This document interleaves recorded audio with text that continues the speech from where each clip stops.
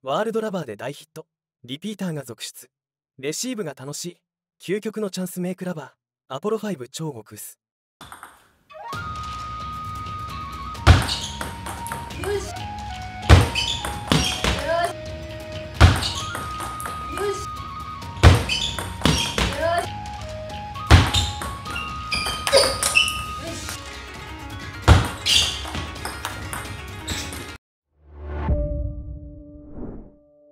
皆さんこんにちは。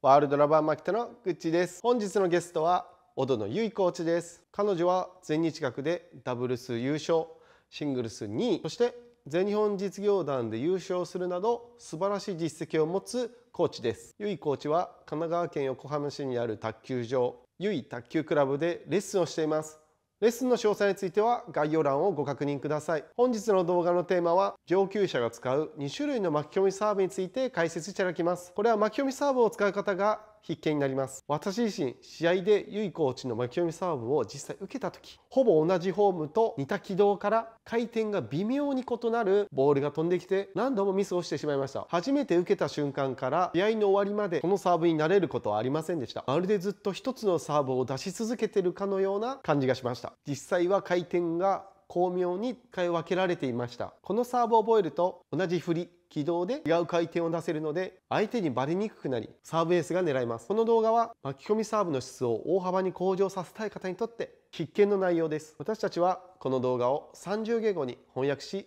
卓球で世界をつなげる活動をしています。卓球技術に興味がある方はぜひチャンネル登録と高評価をお願いします。動画の感想やリクエストがあればぜひコメント欄に記入してください。皆さんの反応が私たちの動画を作る力になります。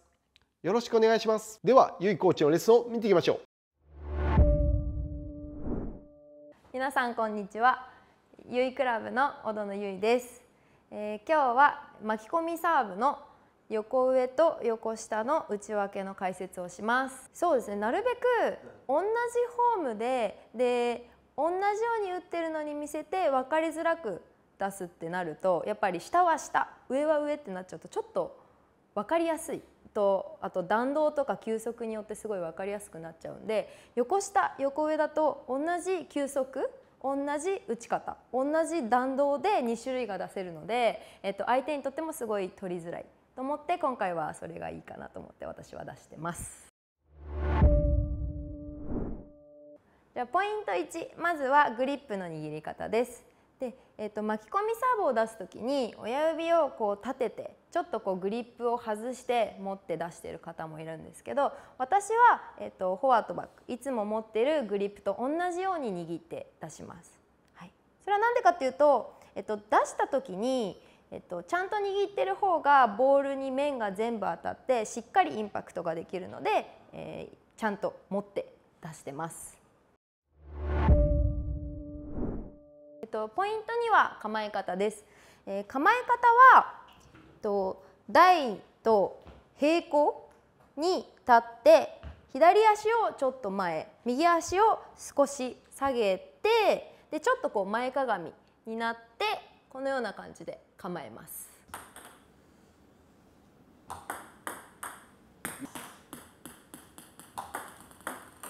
横上の足横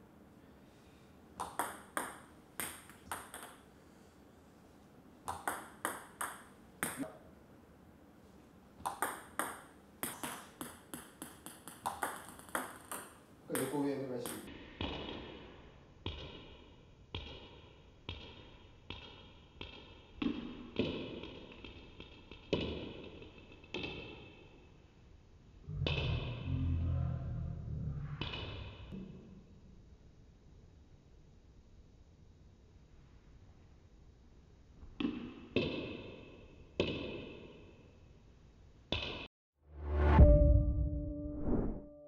ポイント3はバックスイングです。バックスイングの取り方としては、えっと、構えた状態から腕だけで引くんではなくてこのまま右足に重心を乗るようにして体をちょっとこう後ろにのけぞるようにしてバックスイングを取ります。この時に手だけだとやっぱインパクトの時にどうしても手打ちになってしまうので手は体の横につけたまま体が後ろに沿って取るようにします。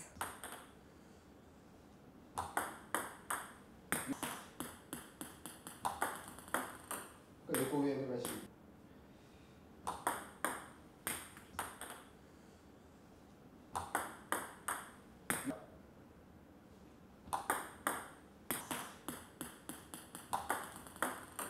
横上お願いします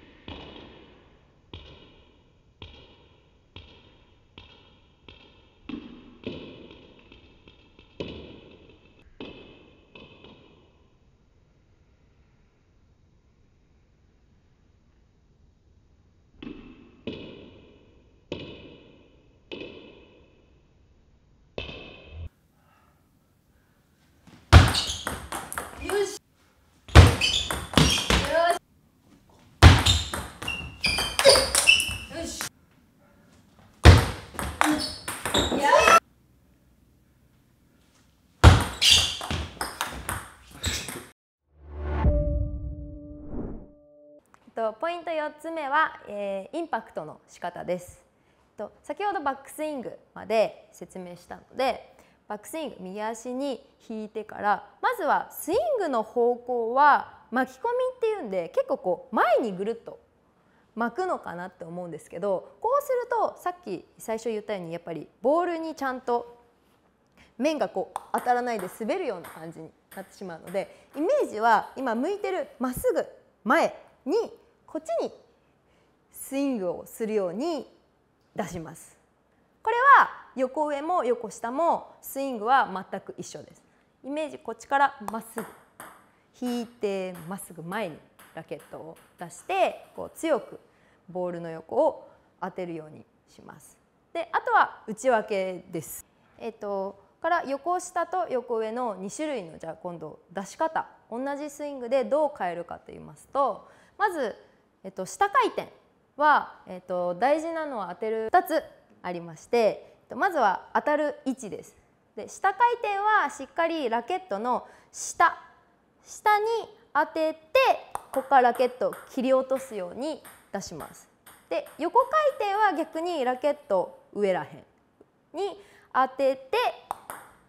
横を出します。これで回転が随分変わってきます。であともう一つ目は、えっと当てるタイミングです。下回転はバックスイングを引いて先にラケットの下に当てて振り落とします。で逆に横回転は先に振ってさスイングの最後に当てて横を出します。そうすると同じスイングで当ててから切るのとスイングして最後ラケット振りを上げる時に当てると横回転っていう2種類同じスイングで2種類が出せるのでその当たるポイントと,、えー、と当てるタイミングがすごい大事になってきます。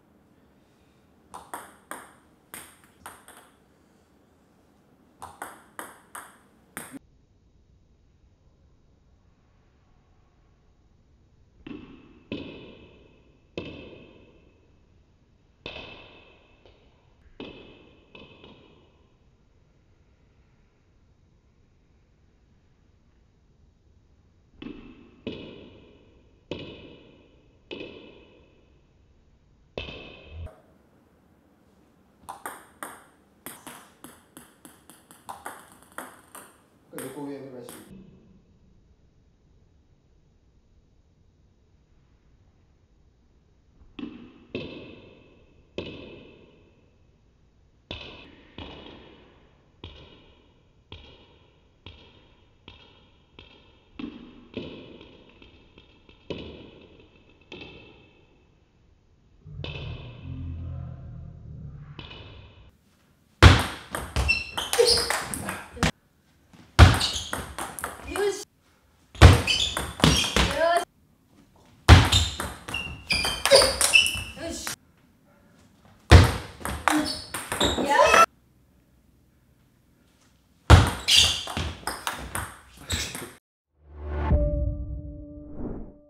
ポイント5つ目最後は、えっと、横下横上。相手が見て分からなくするコツです。それは、えっと、スイングが一緒っていうこともあるんですけど、えっと、ボールの軌道を調整するっていうことです。で、えっと、基本的にやっぱり下回転はサーブ出したらボールがゆっくり飛んでくる。で横回転は速く飛んでくる。っていうので判断の基準としてとして一つあるんですけどそれを逆にすることです。なるべく下回転は当たってから早くボールを飛ばすことで横回転はなるべく当てるまでしっかり溜めてゆっくり出して、えっと、飛ばすこと。で相手があゆっくり来たから下かなと思って一瞬迷う。ですぐ出してきたからあ横かもしれない。っていうので一瞬迷っただけでもやっぱレシーブミスしてくれるのでその軌道を調整するっていうのもとてもいいと思います。